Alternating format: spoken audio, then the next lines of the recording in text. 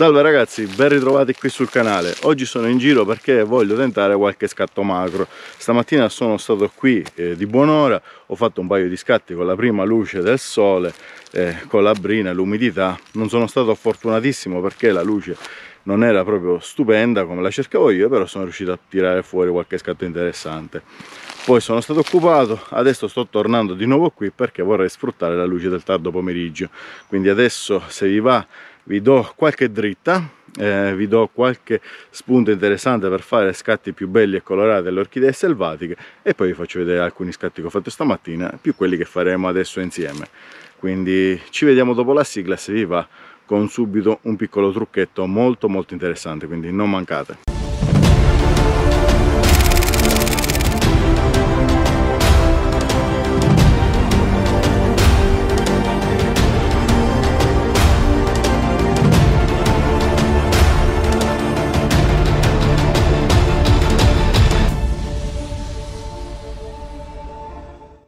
Una cosa che mi chiedete spessissimo nei miei video è come fai a ottenere questi sfondi super colorati? Beh, basta cercare i punti giusti dove trovare sia orchidee che fiori.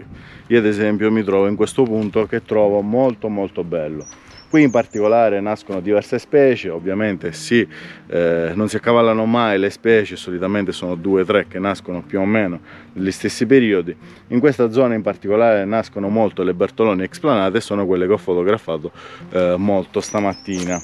Adesso vi faccio vedere il perché scelgo questa zona e come aiutarvi a fare scatti migliori. E cambio un po' la prospettiva, quindi state attenti. Allora, muovo il display così vedo meglio anche io. Allora guardate questo bellissimo prato non so se vi rendete conto quanti fiori colorati ci siano. Quindi abbiamo fiori rosa ce n'è qualcuno giallo nel mezzo ci sono anche questi blu qui ce ne sono altri blu. Tutto questo crea un colore un contrasto. Ma se qui in mezzo nascono anche le orchidee il gioco è fatto. Vi faccio vedere. Qui ci sono delle bertoloni explanate qua ce ne sono tre qui ce n'è un'altra qui ce n'è un'altra qui ce n'è un'altra. Quindi se scegliete soggetti che nascono in mezzo a questi prati pieni di fiori diventa più semplice andare a ottenere sfondi colorati. Se volete invece isolare al meglio il soggetto e non avere tutti questi fiori, tutti questi punti di colore nei vostri sfondi ovviamente cercate altrove. Solitamente nei prati aperti come in queste zone qui ci sono più fiori mentre nelle orchidee che nascono sotto gli alberi come in quel caso lì lì sotto ci sono altre specie lì riuscite a fare degli scatti con colori molto più tenui. Delle volte quando c'è la luce giusta addirittura quelli che nascono nella bordura riesco anche a gestirli e avere questi fiori qui dietro magari colorati di sfondo molto molto lontano. Ma sono casi eccezionali e si fanno solo con focali molto molto lunghe. Ma eh, tendenzialmente se andate a cercare orchidee sotto gli alberi avrete ehm, diciamo colori tenui senza punti di colore eh, vivaci. Se cercate nelle radure come in questo caso qui è più facile trovare soggetti che siano circondati da eh, colori dei fiori e quindi ottenere eh, sfondi molto molto colorati come è successo ad esempio nello scorso video quando vi ho fatto vedere lo scatto della lactea ma adesso che vi ho dato questo consiglio pratico su come ottenere sfondi colorati direi di iniziare a scattare. Partirei con alcuni scatti che ho fatto stamattina con la prima luce del sole e io mentre cerco punti buoni per iniziare a scattare invece qualche scatto più pomeridiano. Sono qui inoltre anche perché sto cercando un paio di ibridi che lo scorso anno ho trovato eh, qui in modo fortuito e che però non sono riuscito a fotografare bene perché purtroppo erano a fine fioritura adesso dovrei essere in anticipo quindi dovrei trovarle a uno o due fiori massimo quindi andiamo a cercarli e iniziamo subito a scattare anche a questi ibridi particolari tra due specie di orchidee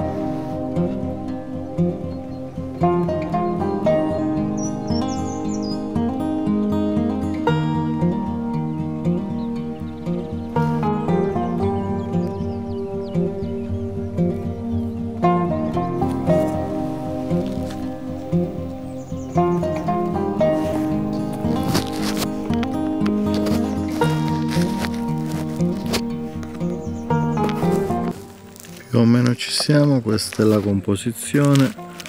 Vorrei includere altri colori ma ci sono alcuni elementi di disturbo e non mi permettono di spostarmi più di tanto. Quindi scatto questa e vediamo cosa esce fuori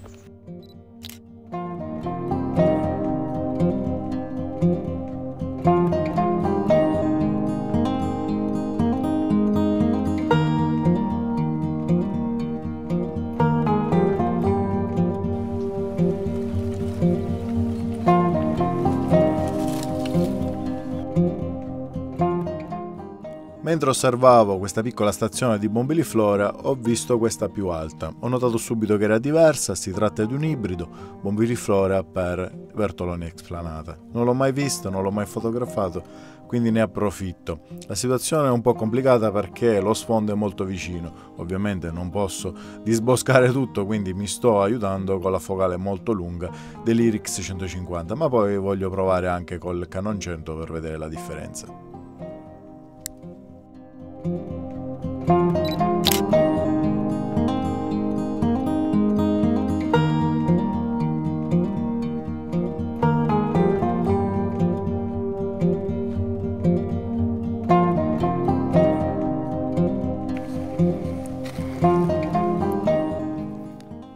Stesso soggetto, ho cambiato ottica, si tratta dell'RF100, come vedete il bokeh è molto diverso, eh, essendo lo sfondo abbastanza vicino, ovviamente qui è un po' più nervoso lo sfogato rispetto all'Irix. Non so quale vi piace di più, io li gradisco entrambe, ditemi voi magari quale che preferite, se lo scatto questo col 100 o quello con l'Irix 150.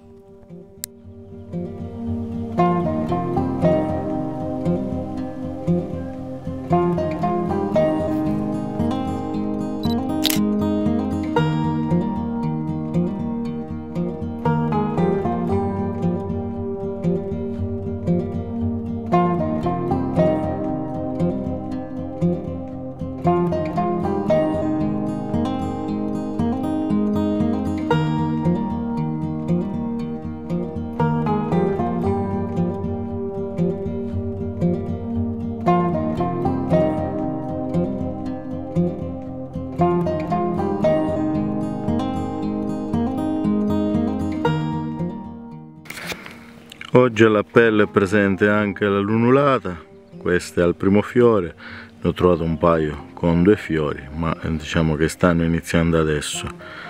E niente, porto a casa questo scatto, mi sembra abbastanza buono, lo sfondo è ricco quanto basta, sto scattando con l'RF 100 mm e niente, faccio questo scatto e se riesco faccio anche una comparativa con il 150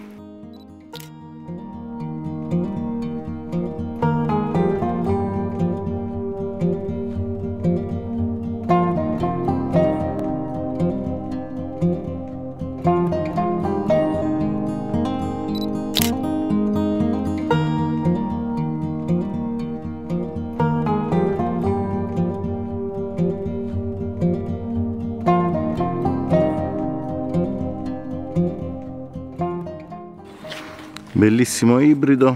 Ho piazzato due ombrini bianchi perché il soggetto era parzialmente in luce mentre lo sfondo era completamente scuro e diventava praticamente illeggibile. Questo è un ibrido tra Bartoloni Explanata e Garganica.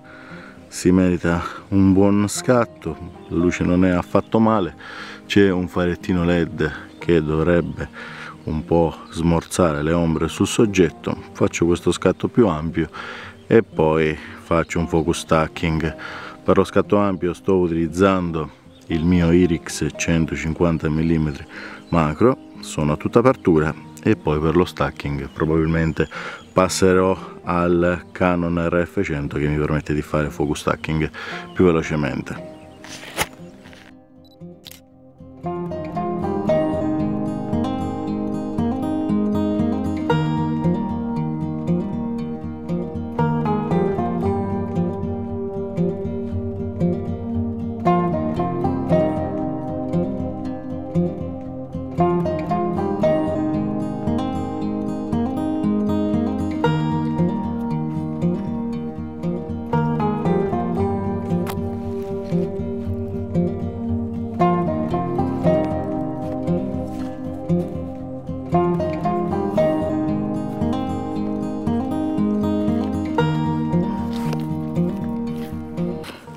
più o meno ci siamo questa dovrebbe essere la composizione devo correggere la messa a fuoco sullo sfondo ce n'è un'altra e poi tutto il resto è molto molto lontano.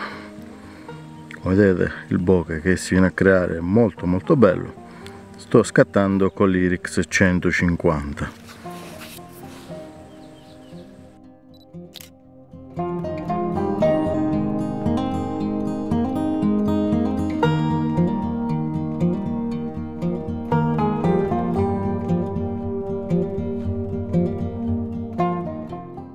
Adesso vi mostro un altro ibrido molto particolare che ho beccato lo scorso anno e che non vi ho mai mostrato.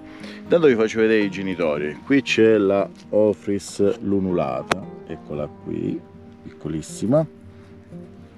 Con questo labello molto stretto e allungato e questa macula a forma di luna solitamente, poi può variare leggermente. Qui abbiamo una Passionis e qui abbiamo l'ibrido tra l'unulata e passionis. Questo si merita uno scatto. Fino all'altro giorno circa tre giorni fa era ancora tutto chiuso adesso addirittura ce ne sono due aperti. Questo ancora si sta aprendo infatti il labello non si è ancora non ha ancora preso la sua forma originale mentre qui si è già ristretto eh, con più parvenza di quello del papà o mamma chiamiamolo così, della lunulata. Quindi questo si merita uno scatto. Ho montato su l'X150, visto che qui c'è tanta vegetazione, vediamo se riesco a scattare in questa direzione qui, cercando di sfruttare un po' la luce.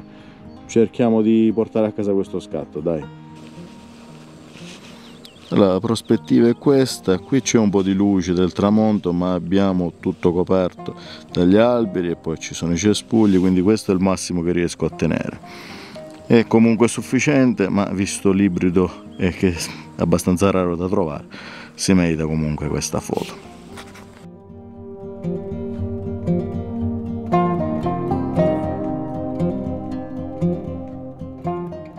Ho aggiunto un paio di lucette led uno che illumina leggermente in controluce il soggetto per far risaltare i bordi del labello e uno qui in primo piano che illumina praticamente qui davanti. Vedete? Era troppo scuro se lo levo è così se metto il faretto è in questa maniera. Questo più o meno è lo scatto che sto portando a casa. Spero vi piaccia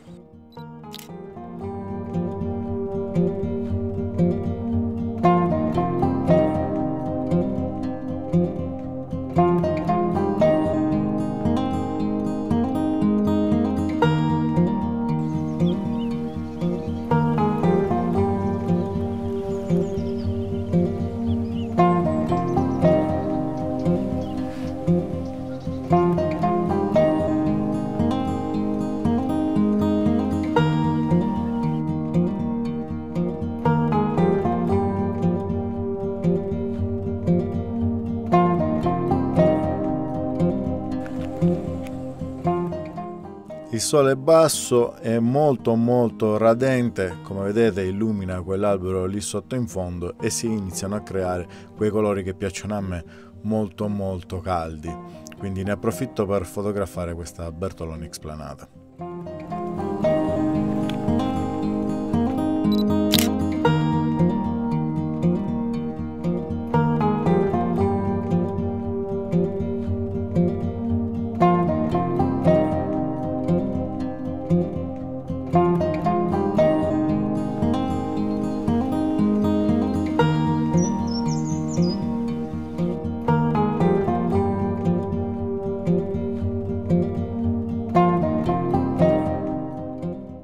ultimo scatto guardate che sfondo.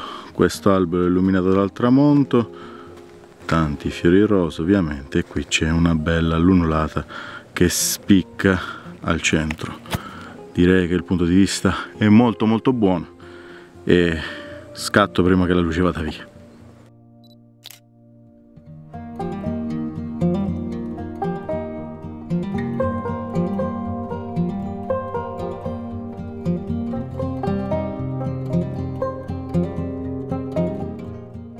l'ultima luce è andata via ho sfruttato al massimo tutto l'intero pomeriggio. Come vedete c'è un bellissimo tramonto dietro di me che illuminava prima quell'albero lì che vedete nello sfondo che faceva da sfondo qui alla mia orchidea. Avete visto lo scatto, avete visto un po' il backstage vi ho fatto vedere questo posto spettacolare con tutti questi fiori colorati che mi ha permesso di fare scatti sicuramente più belli. Adesso al tramonto perché come vi dicevo anche qui si illumina in modo particolare e niente sono soddisfatto tra eh, l'uscita di stamattina di un'oretta massimo e quella di oggi pomeriggio di un paio d'ore credo di aver portato a casa anche parecchi scatti e penso tutti buoni. Quindi ditemi voi che avete visto il video fatemi sapere cosa ne pensate soprattutto supportate il canale condividete il video lasciate un like lasciate commenti mi aiuteranno a far crescere il canale e condividere questa passione con voi ci vediamo presto come al solito qui sul canale con un altro video in natura e ovviamente su Instagram e Facebook con tutte le mie foto naturalistiche. Ci vediamo. Ciao ciao ragazzi alla prossima